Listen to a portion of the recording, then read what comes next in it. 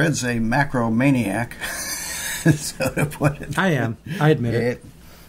it, it sounds better than flower maniac, right? Well, I can't help it. I like Yeah. to photograph small things, and it's insects and plants and flowers. Me too, and I've been doing it for quite some time. And uh, we showed uh, in, I think it was the previous podcast, how you can use an LED light as a supplement right. for uh, because basically it's better to block out the sunlight when you're doing this. Uh, I've got something that I came up with that I wanted to kind of show you here. This little arm here. Look at this is a Litra, which you could use any little Mhm. LED. You want to make sure that it's these little arms. I think they call this the magic arm. Are under 15 bucks. This is a 7 inch model. They do make an 11 inch model, which is a couple dollars more. The trouble is, I think the 11 inch model might actually extend out enough where the weight might be a little much for it. I believe on this particular model, and I'm going to get that to here a little bit, you could probably also use a smaller flash on here as well as uh, an LED light. But I'm going to turn this on momentarily. This is so you don't need an extra hand. As you can see, that uh, we'll put the light right down in there where you want it and give you some nice supplement light on your for that amount of money. I mean, that's really something that I thought was kind of clever and doable. This has a lot of other purposes too. You could put a little monitor up there. I mean, there's a number of things you could use it for. Right. Just nice because you can put it right on the hot shoe. So Yeah. very cool. So I wanted to kind of show that off, and we was going to talk about various macro lenses for um, kind of a comparison. One, I'll let you start. well, you've got the, we the both we both have a nice uh, stabilized macro lens. I have the Tamron 90, and um, I like it. It's a good lens. Well, I want to mention my first macro lens that I bought was a Tamron 90, and um, it was the earlier model didn't have uh, image Right. stabilization in it, but the very first picture I took with it, it was out in our backyard here. It was a Jadera bug and a golden rain raintree blossom, and it got picked up and published in Outdoor Photography magazine. Hmm. Those are really, really sharp, good lenses. So, but um, I mean, I like this lens. It's it works. Bottom line with it is that there's a lot of them out there. Canon makes them.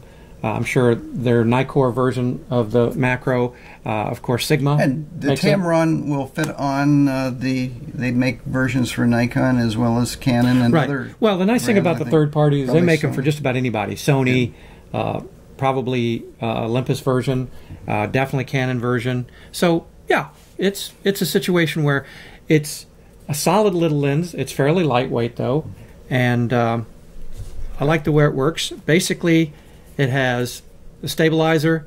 It has, of course, your automatic and manual uh, focusing, and it actually has three settings: full, and then the 0.5 to infinity, and then 0.3. Uh, so what they call a 0.3 to 0.5. And I want to mention too that this is a true macro lens. So Yes. this is true. And what macro means is that the image that appears on the sensor when it's in focus is at least the same size as the object you are photographing. So if you're photographing a postage stamp, that picture of a postage stamp's on the sensor would be the same size as the real postage stamp or larger on the sensor. So that's a, the same size as one to one ratio. So a true macro is at least one to one. Right.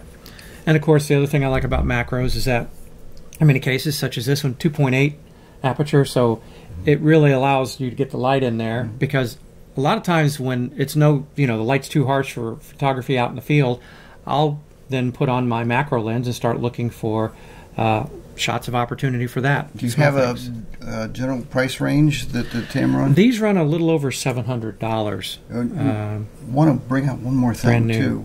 Those of you who attend the Black Hills photo shootout would probably get an opportunity. We're assuming Tamron will be there again this year to borrow one of these and give it a try. I know I did uh, at the last workshop when one of the macro classes I taught Right. that I borrowed a uh, Tamron macro lens. Are really great lenses. What macro lenses do you have Well, to show us The there? The one Jim? I've got right here is one that came. I'm going to go ahead and take the little arm off it here. Okay. Now, oh, by the way, that just fits on the hot shoe, of the camera. This is the Sigma macro lens, and like the Tamron, it's got uh, image stabilization. It actually has two different settings. One is all ways, and there's a number two setting that apparently only works for up and down. I believe it doesn't do horizontal. It's one you probably rarely use, or you can switch it off completely. So if you're using this on a tripod, you might want Yeah, definitely for off. both. If you're on a tripod, you probably want to turn off stabilization Yeah. because the poor thing gets fooled after a while. Autofocus, It's waiting for movement and it's not seeing it. and it's an ultra USM motor for focusing, so it's, you can turn the focus on or off. And um, it also, which is interesting, has three different settings for the focusing range, which is infinity to uh, let's see, it was a, a 0.45 meters, so it's about half a meter. And the second setting is a uh, let's see, that's well full, then four and a half meters to infinity, and then 0.32 meters to four and a half meters. So if you know your range is going to be really, really close, you're using as a macro, it'll prevent that hunting. Right, you don't get the hunting. Right. So that is a nice feature. There is a couple things that I didn't find the stabilization to be that impressive. I mean, I barely notice any kind of when it kicks in.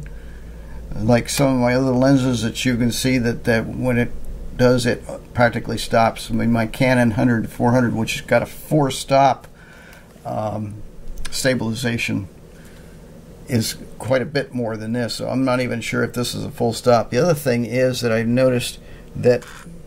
Um, see if you can hear it there. It's a noisy little. It burps. It burps. so I don't know if the Tamron does that, but Sometimes I'll hear some focus noise, but not quite as the same as the Sigma. Yeah. I have used the Sigma, and even though, like you say, you don't really notice it, I've gotten good stabilization out of using it. I've taken a lot of different uh, captures with it and like it. I've used both. I just happened to decide to go ahead and I'm gonna burp it. And stay with that one.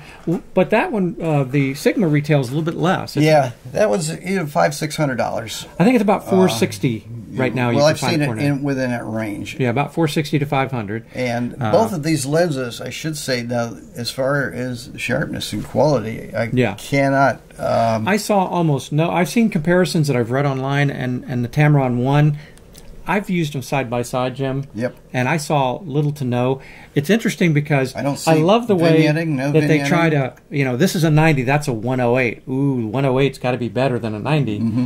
But oh, that's oh, well, marketing. Actually, that's 105. And the, nine, the difference between 90 millimeter and 105 is so tiny, I doubt if you would even notice it's a that. marketing thing. They're also both 2.8, f2.8. But as far as sharpness and the quality of the image that you get, I doubt if anybody could tell the difference. And we're going to show that here. Why don't we go ahead and show some of Okay. your images that you have taken With the Tamron. The Tamron. Okay. So these are some of your macro pictures, photographs in here.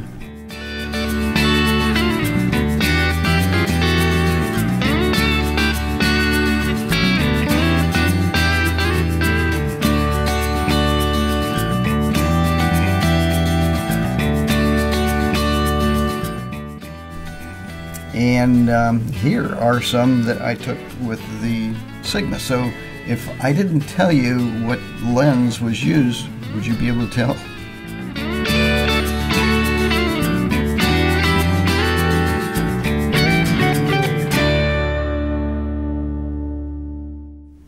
I mean, both of those do excellent results. And as I said, when I was utilizing that lens and then kind of switching between the two, I had a hard time. I had to look at the picture and the EXIF information to see which lens I used. Yep. Uh, so to me, they're both very similar. Some people don't like the noise of the Sigma, and but you know what? If you don't have the bigger dollars that it's going to cost you for this, that may be a, a less expensive investment. You're staying under five hundred dollars. This one's over seven, somewhere between I'd say seven 27, 40, maybe more. Um, so you might be able to budget a little bit.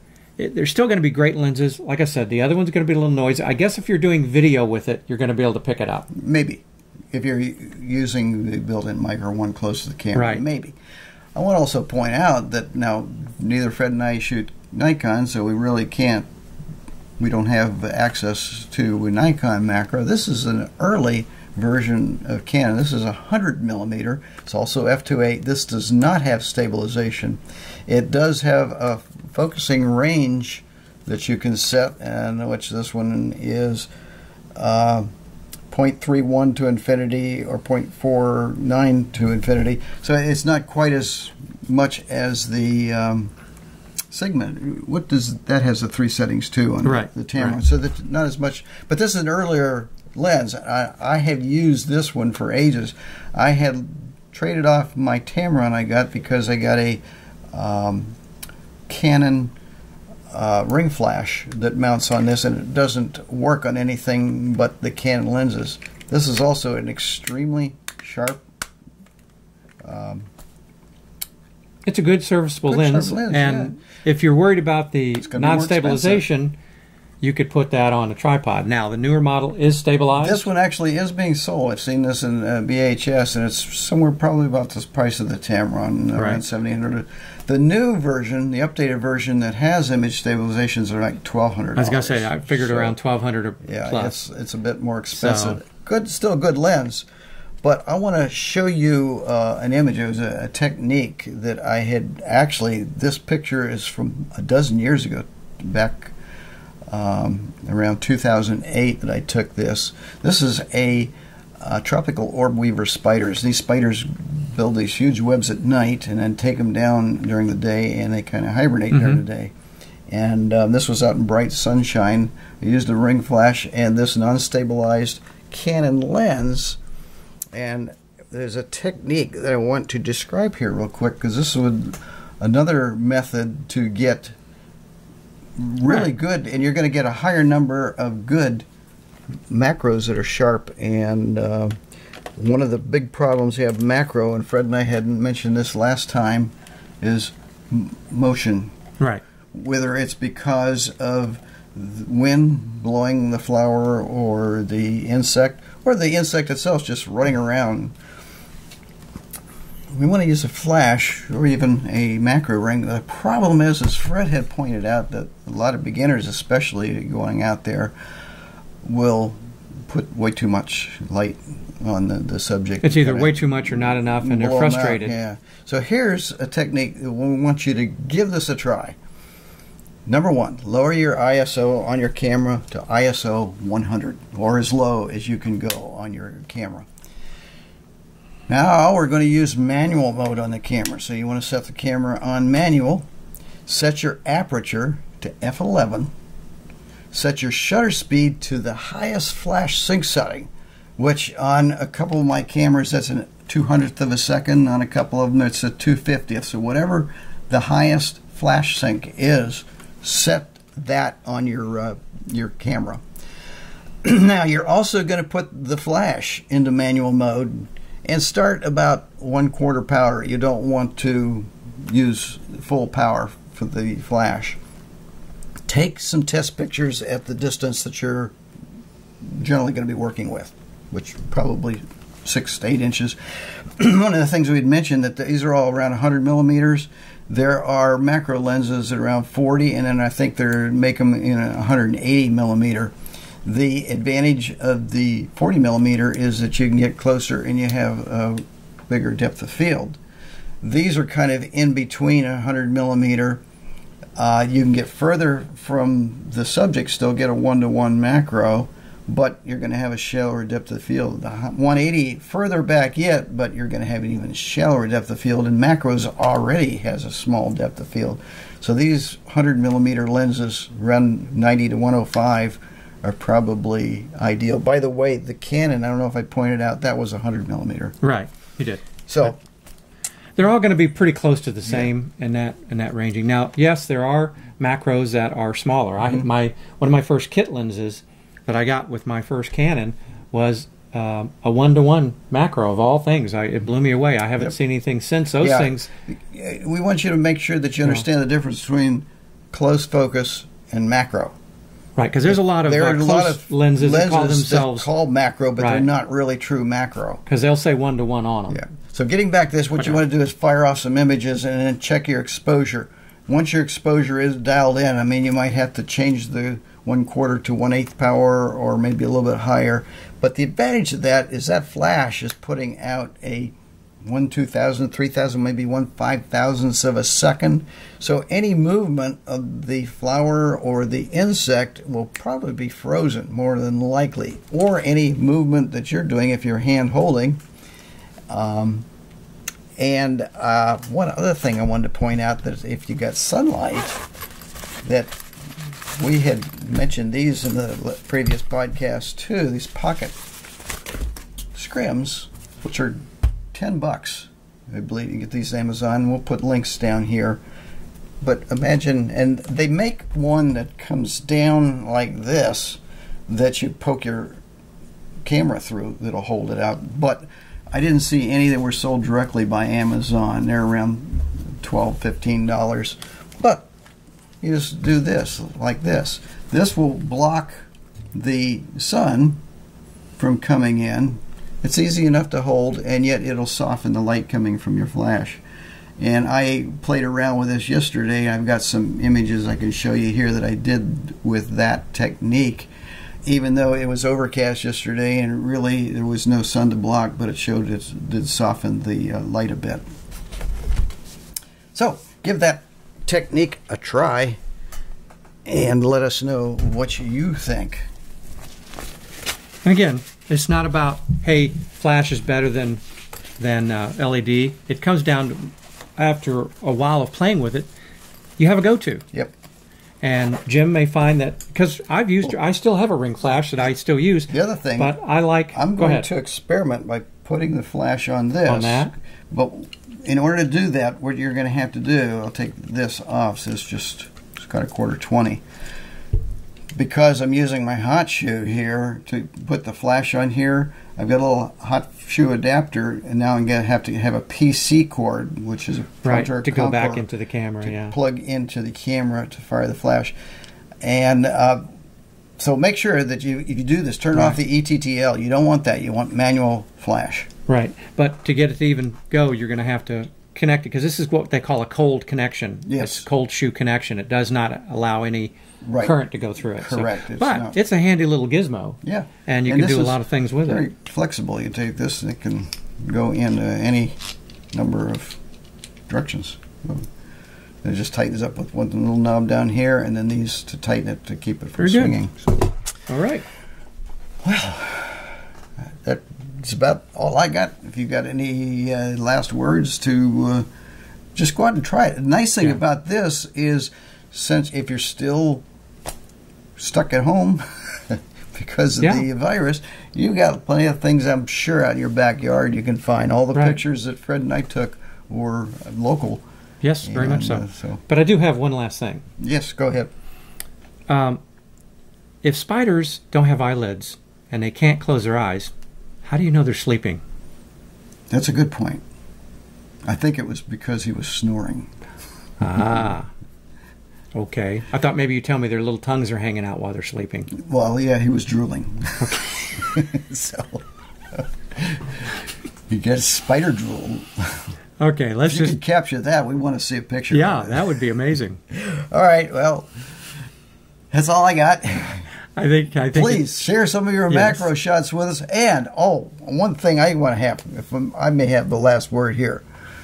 I'm going to remind you again to go out, subscribe to the Fotobug YouTube channel. I have a free ebook on everything you ever wanted to know about macros. 24 pages of all kinds of techniques for macro focus stacking. I mean, it's got everything in there, and including equipment and even ways you don't need a macro lens to get macro. You can take an ordinary lens and reverse it. Could show how that's Or done put tubes on it. or tubes. Yeah. Yeah. By the way, you can use extension tubes on macro lenses and get even closer, uh, which I did on some of the pictures that I had showed earlier. So just go out there, subscribe to the YouTube channel, let me know that you want the uh, ebook, and I'll send you a link where you can download it for free. Excellent last word.